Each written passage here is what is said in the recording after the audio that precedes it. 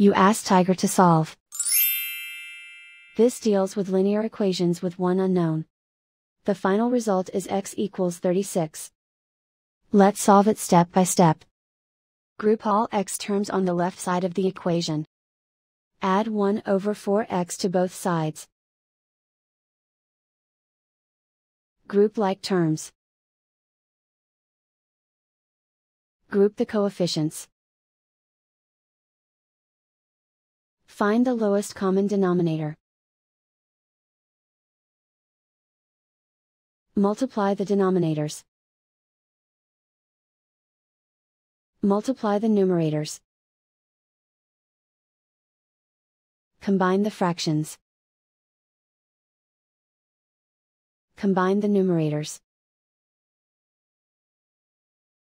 Combine the fractions. Combine the numerators. Reduce the zero numerator. Simplify the arithmetic. Group all constants on the right side of the equation. Add 25 to both sides. Simplify the arithmetic.